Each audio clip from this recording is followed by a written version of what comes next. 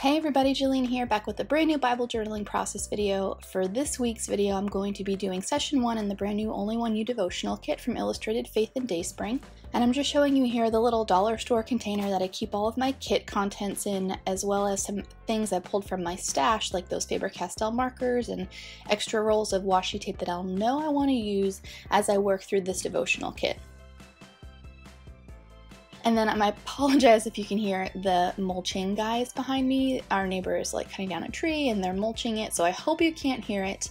I'm also showing you here I pulled out the All People All Nations 6x12 sticker sheet because it coordinates so well along with this um, this new Tim Holtz stencil that I have. I really like this design and thought it would go well with kind of like the abstract look of this kit. Then I'm also showing you here the digital downloads that you get when you purchase the Only One You devotional kit from Dayspring. So the day after you order it, they will email these to you. If you don't get them in your email, in your inbox, check your spam folder, and if it's not there, go ahead and contact webcare at dayspring.com. I'll leave all of that information in the video description below in case you purchased the kit and you didn't get the digital downloads. So I really, really think that's a great value this month because if you're anything like me, you hoard some things, your favorite things from the kit, and maybe don't even end up using them because you wanted to hold on to them. but with the digital downloads, you get so many great elements like the sticker sheets um, in digital format, and you can print those as many times as you want for your own personal use. It's it's really great. So I printed mine on clear sticker paper. I'll link that below, the one that I use, and then wanted to use that to build my title along with the ampersand stamp and then the washi tape. So coming into this entry, all I knew is that I wanted to Bible journal. I haven't been feeling particularly creative lately, and so I really had no idea what I was going to do when I sat down to do this.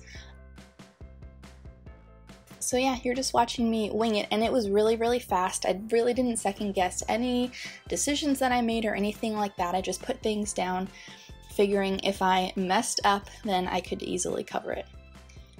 So I'm going to go ahead and use the washi tape that I had previously discarded. I didn't end up using the bits that said wildly loved or crowned, and I'm going to use that to hold this stencil down. I'm using the picked raspberry distress ink from Tim Holtz and then the mini ink blending tool.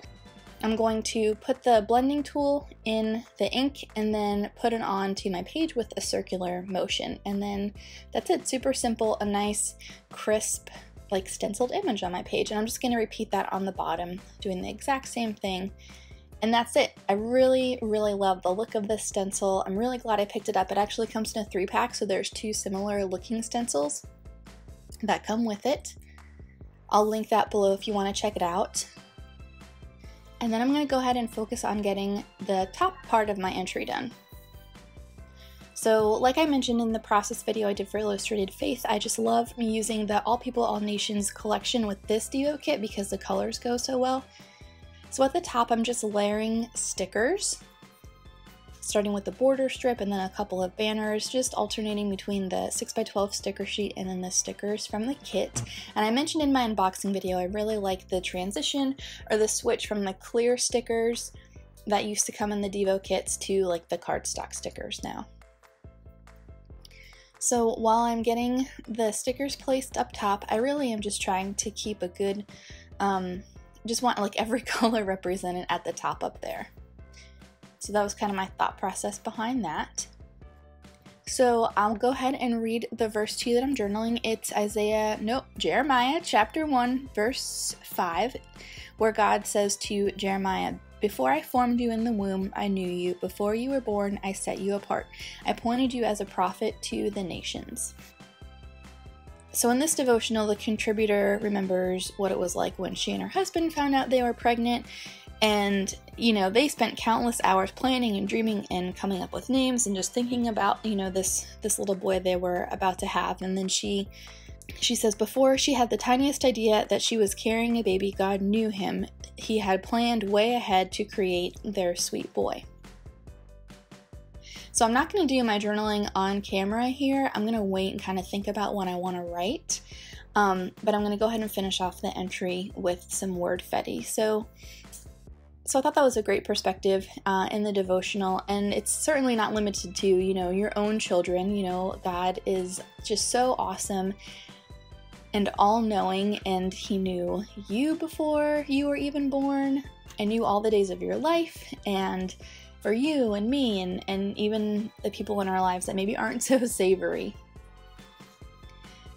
So I was just kind of thinking about that while I was journaling this. And then I went ahead and used one of the um, enamel hearts just to bring some yellow down to the bottom of the page. I actually used some of the, the enamel hearts that are exclusive to Michael's stores.